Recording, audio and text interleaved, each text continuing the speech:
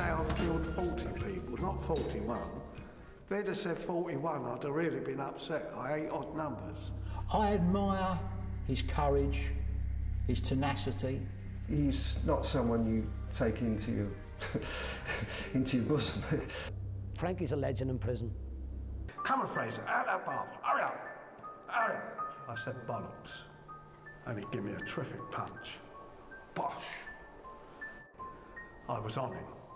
And I slung him in the bath and I tried to drown him.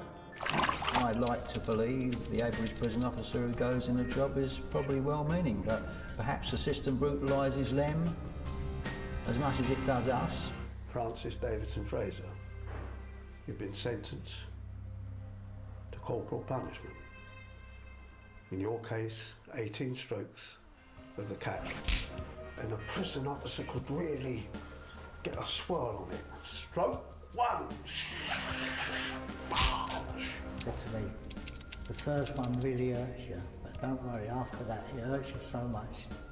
The pain, you know, it numbs you back and you can't feel it. Your name? Francis Davidson Fraser. Your name? His Geordie voice. He wanted me to say, sir. No way. And as he said it again, I just managed to get one punch in, and that was it. They really done me then. And because the prison officers use brutality, intimidation, violence against the prisoners, the only way you can register any sort of protest is to respond in kind. Later on, I'm over the hospital. The doctor's put 27 stitches in my head. And he's gone to the sink to put some old-fashioned catgut that you had in then. And while he's there, the prison officer is doing me with a wet towel right round the face. Bosh! He just looked over his shoulder, the doctor. First met Frank in the dungeon in Wandsworth Prison. He'd just been moved from, uh, I think it was Chelmsford. They just bashed him to pieces. He just arrived there. A lot of people in prison today. Six foot six, 20 stone, big biceps. They're all muppets. All on drugs, steroids, think they're old. You've seen Frank, have you? Tiny man, but he's got the heart of a lion. It don't matter how big these people are with the muscles. They're never gonna have the heart Frankie Fraser had. Ever.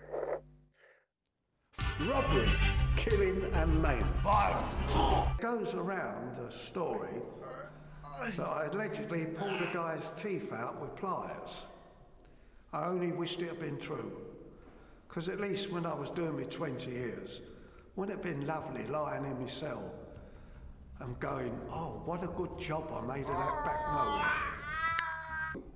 His victims are of his own kind, really. I kidnapped him, slung him in a car, took him to our one-armed bandits, the Atlantic machines, and done him with an axe. I saw an axe coming, I didn't know who had it. Well, he put his hands over his head and the axe went right through his fingers and nailed his hands to his head. My hand was pinned to my head with a chopper. It's a lovely axe, an old boy in Harrods. I had 370 stitches. Not true, he had over 800. He went to see Reggie and Ronnie when he come out of the hospital after four months complaining. They gave him £10 each and slung him out. Ronnie and Reggie, I'd known them since they were very small because I knew their father first. And I can only speak highly of them. Well, out the two, I liked Ronnie better. Only because he was so honest. If he liked you, he told you. And if he never, he'd tell you. Before Reg died, Frank met him one last time at the Townhouse Hotel in Norwich. When Reggie was buried, he'd asked that I'd be given this envelope. And they'd give it to me at the graveside as he was buried. And this was in it with a nice letter and all. I think we're far too kinds of criminals. I think we should put them away. I think a great many of them we should shoot.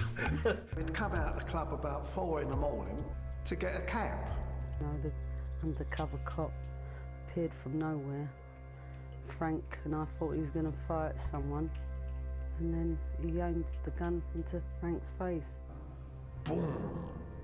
and shot me here. Marilyn saved me life.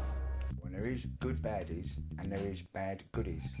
And I am very aware of the uh, bad goodies because I bribe and pay policemen all my life. The public are so desperate to clean up the streets and clean up the bad guys, they don't care who kills them, really. What I do criticise Frank for, and I criticise myself for it, is bad judgment. We made decisions that made us spend 20 or more years in prison. And I'd hate any young man to think that what Frank or I did was clever and to follow us along that path. Uh, CCTV cameras, policemen with machine guns, helicopters, supergrasses and all that. You cannot be a gangster no more. The police have got more money to sort of trace you now and, and catch you and it's, it's, it's all computerised now. You've got things from satellites now that can beam down and see people and take photographs. It's, it's, it's finished now, the crime.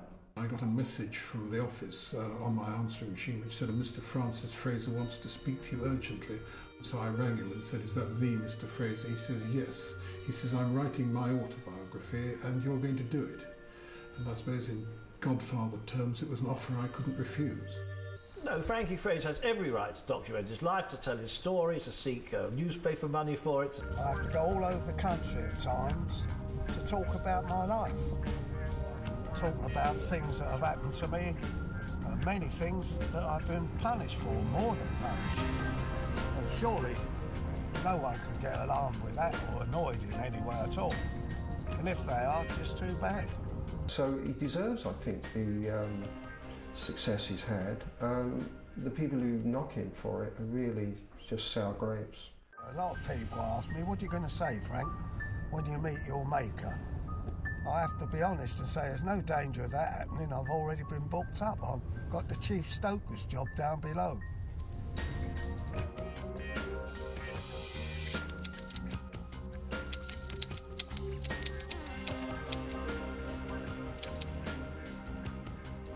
I know where you live.